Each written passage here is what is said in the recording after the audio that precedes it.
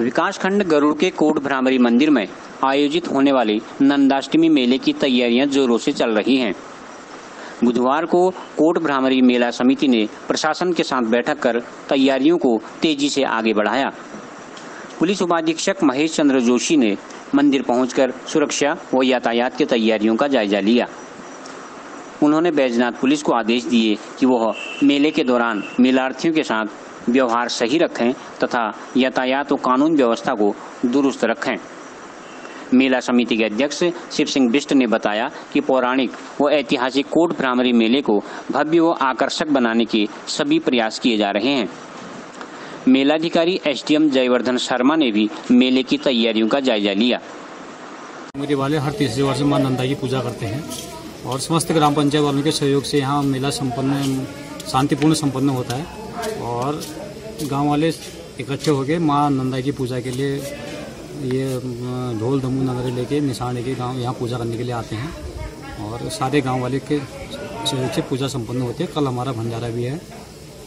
और परसों कल वहाँ जाएँगे हम, मुआई गाँव में जाएँगे, केले के लिए। उसके बाद कदली विकसे के लिए, उसके बाद माँ की प्रतिमा बनेगी। परसों उसका विसर्जन होगा। माँ नंदाष्टमी मेले का आयोजन पूरे इस क्षेत्र के लोगों के द्वारा बहुत ही मिलजुल कर बहुत सौहार्दपूर्ण तरीके से किया जाता है और इस वर्ष भी मेले का आयोजन बहुत ही सुंदर तरीके से हो रहा है। सब लोग अपनी अपनी व्यवस्थाएँ कर रहे हैं और शासन प्रशासन का इसमें हर साल हमें बहुत अच्छा सहयोग मिलता है, इस बार भी मिल रहा है। जिन जिन विभागों को जो जो जिम्मेदारियाँ सौंपी गई थी, सब लोग अपना काम बहुत बेहतर तरीके से उन्होंने पहले भी किया है और आज भी कर रहे हैं।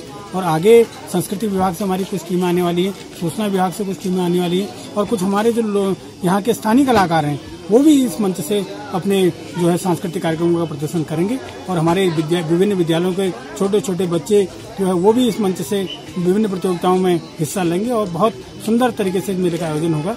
और सभी जो हमारे यहाँ के स्थानीय जनप्रतिनिधि उन सबके सहयोग से बहुत सुंदर मेले का आयोजन प्रत्येक वर्ष की भांति इस बार भी।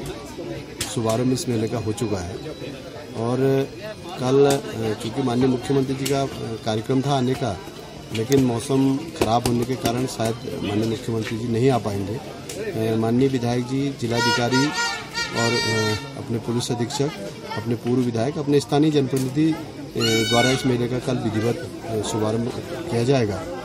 क्योंकि ये हमारा पुराना, हमारे ऐतिहासिक, सांस्कृतिक धरोहर का मेला है और हमारे कतूर की कुलदेवी माँ ब्राह्मणी के इस प्रांगण में नंदाष्टमी का मेला प्रतिवर्ष हम भादों के महीने में इस मेले का आयोजन होता है।